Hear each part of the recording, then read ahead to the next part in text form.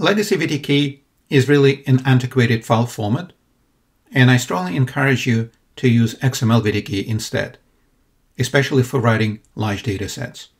So for anything larger than a few megabytes, please use XML VTK.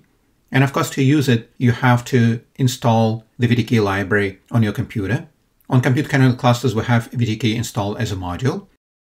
Inside the zip download, in the codes directory, I have an example of a C++ file. The file name is sgrid.cpp that shows you how you can write a simple three-dimensional structure in VTK to a file. And I also have a makefile that helps you compile this code. VTK also has API for Python and for Java, in addition to C++. And now there's also a JavaScript version, vtk.js.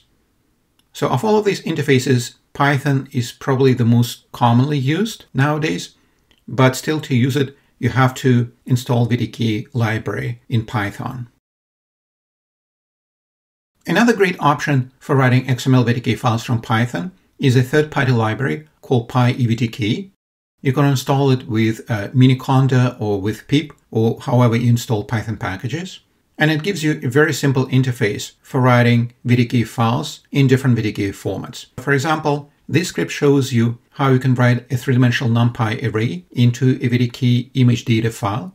In VTK language, image data or structured points is the very first file format where you store data on top of a Cartesian mesh.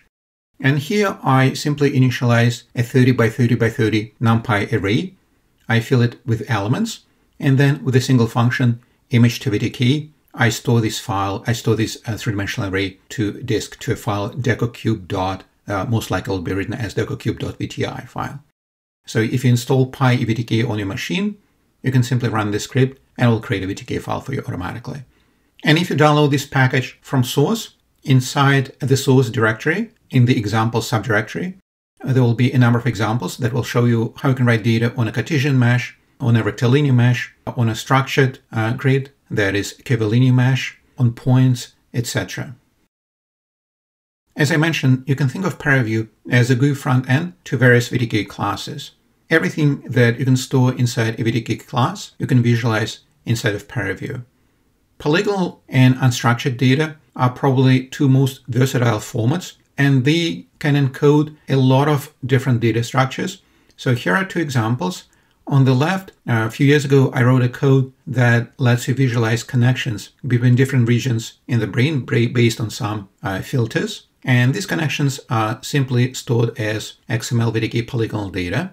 So both the points and then the connections between points. So this is similar to a three-dimensional graph or three-dimensional network. And then you can spin this in 3D. And on the right, I have an example uh, this is actually a standalone code that I wrote that can store a graph or a network in two formats, either as polygonal data or as unstructured data. And a researcher took this code and applied it to bioinformatics data.